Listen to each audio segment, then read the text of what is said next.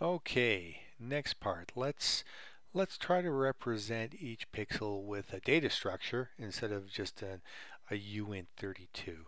Um, so to do that, we'll uh, add a data structure here. Let's go struct pixel. Actually, let's call it um, RG RGBA because it's red, blue, green, alpha pixel. And uh, this data structure will contain uh, a raw value. Uh, so let's uh, let's make that easily accessible.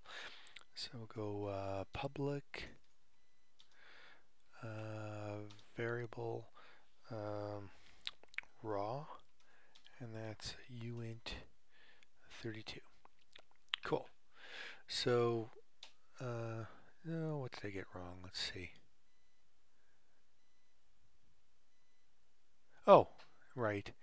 Um, oh, actually, this needs to be a public structure. I think that'll do it. Okay, so, right.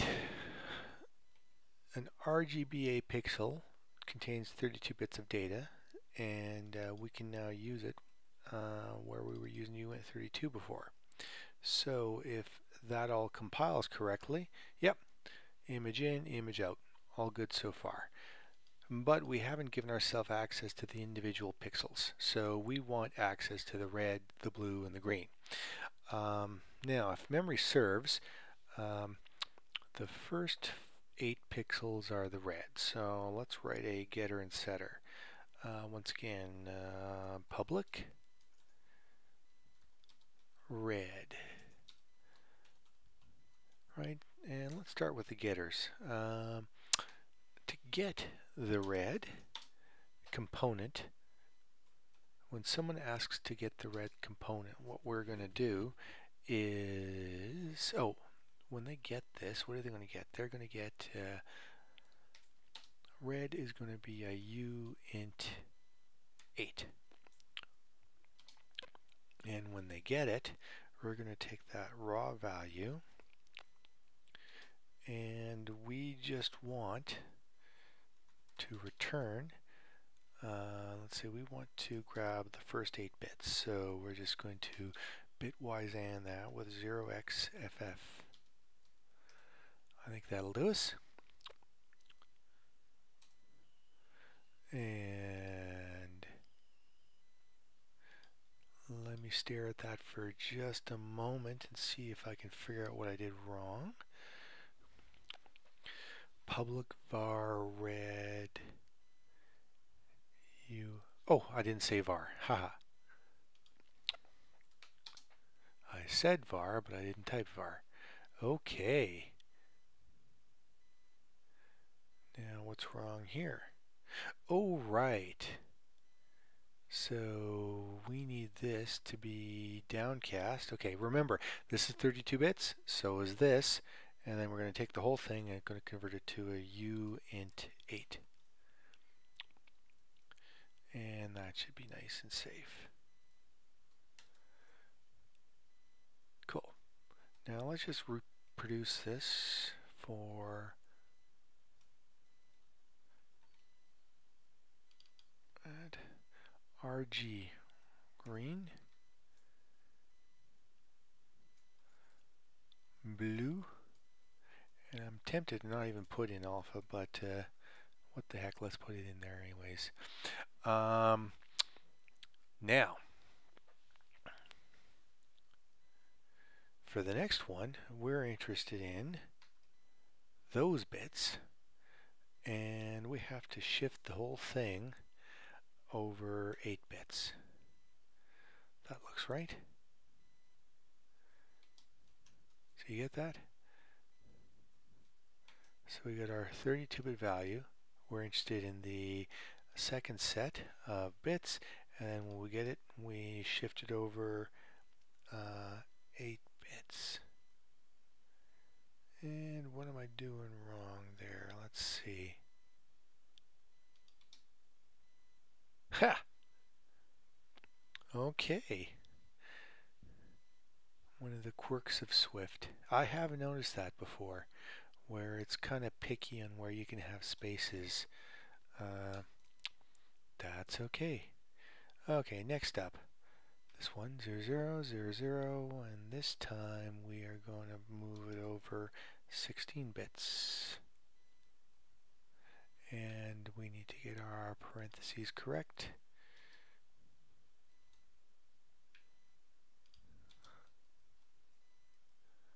And you know what, for the last one, I'm just going to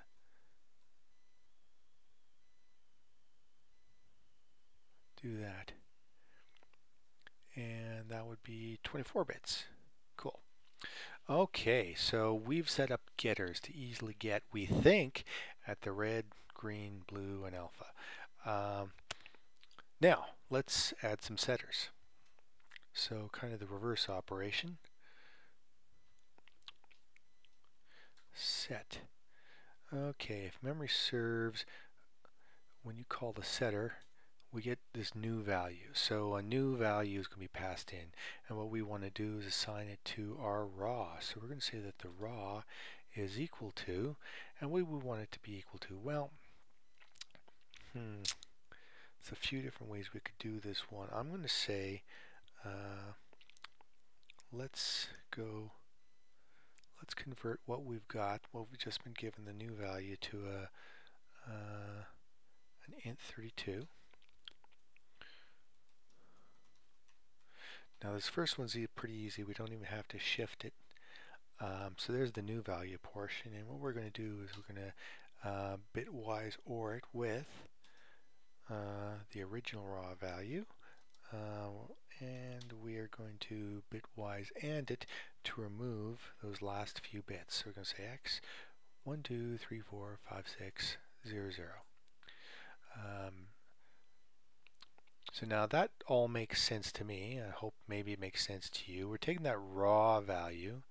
We're getting rid of the last 8 bits so that we can uh, replace those 8 bits with what just got passed in. Um, so that looks good to me. Let's do a similar exercise for the setter for the uh, green. Now for this one, we're going to have to shift it. So, um, oh right, we want to shift the 32-bit value, so I'm going to say 8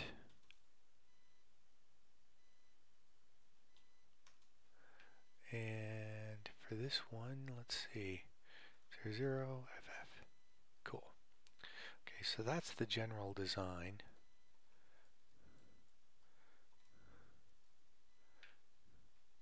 That one's going to be 16.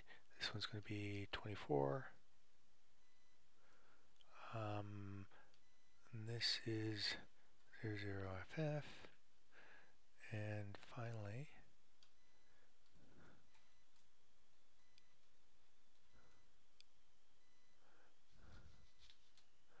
that makes sense. So we're turning off the first 8 bits, the second, then the third, then the fourth. Perfect. Okay. That looks right. Of course, we better do a little test. So what do we want to do? Let's uh, let's prove that this actually does what we think it's doing. As a matter of fact, before we do that, um, first of all, why don't we do some jiggery pokery here and just set every pixel to black.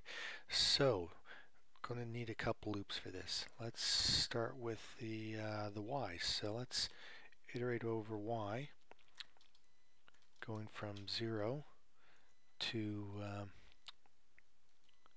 the height.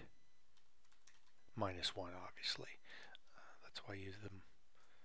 Perfect. Okay, and then for var x in 0 to the width. So, right. We're going to vary y on the outside. We're going to vary x on the inside. Cool. Okay, so now we can actually play with this pixels buffer. This is actually going to appear to be an array of RGB pixels. Um, so for starters, why don't we do this? Let's just make everything black if we got our facts straight. So pixels. Okay. Um, now I haven't written the. We're going to write a convenience function for you know doing what we're doing here, but this is easy enough. Um, what we want to do is go to the index of the x plus the y times the width. Okay, if you kind of scrunch your mind up, that that makes sense. Um, you know, x every x adds one. Every y adds whatever the width is. Easy peasy. And let's just set that to zero.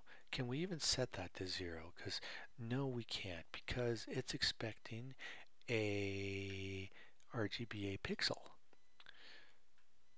So uh, as a matter of fact, let's add a convenience. Let's add a uh, initializer. Say public init uh, uint 32. Um, I'll say raw val. Oops, mixing languages again. Raw val. Cool.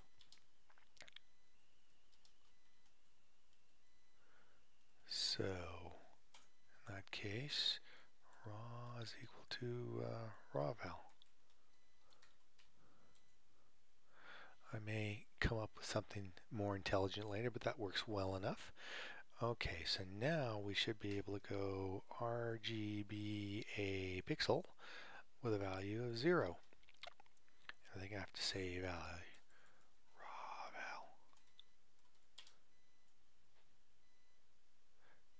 val. Ooh, take a look at that. It's running. Our image is black. Well, well, well, what you know. And if we got our facts straight, um, if we were to go 0 FF, FF, FF, I would expect it to turn white.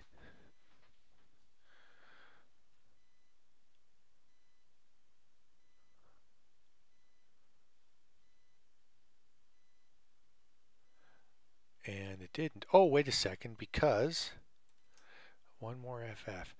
The uh, alpha channel was uh, set to transparent which doesn't help us. There we go. All right. Um, and just one final test. Uh, let's. We think that should be red. We think that'll be red. And it is. Good. Okay.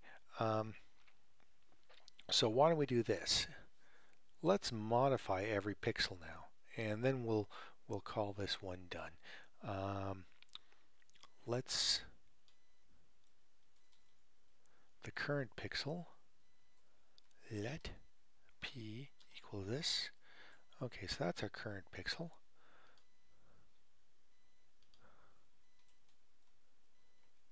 I'm going to copy that I'm a very lazy developer so I like to copy a lot bad habit um,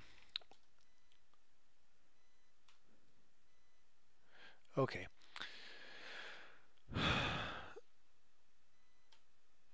So this is a do nothing right now. We uh, we grab that pixel and then we just copy it back. But what if we were to do something like uh, set the red component to 255? I honestly don't know. Oh, what's complaining about? Oh, probably because this needs to be a var because we are mutating. Much better. So I'm expecting it's going to take the red component and this should be a very red image when this is done. And this is just a confirmation that our data structure is set up correctly. Yes. Okay, now let's try blue. And once again, we're waiting for it to complete. Expecting to see a very blue image. Yes. Okay, and green's going to work too. So there you have it. Now we have uh, a way of taking an image and converting it into a bunch of pixels. Um, we have some mm, ways of altering those pixels. You know, we can adjust the red, the blue, the green. We can, uh, and uh, finally, we can take that uh, buffer full of pixels and we can convert it back to an image.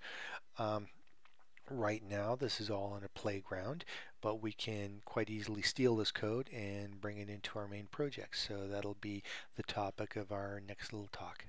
Thank you.